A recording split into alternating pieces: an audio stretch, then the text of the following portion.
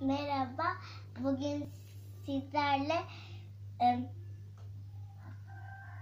em, bununla em, A'dan D'ye oradan da D'ye gideceğiz. Hadi başlayalım.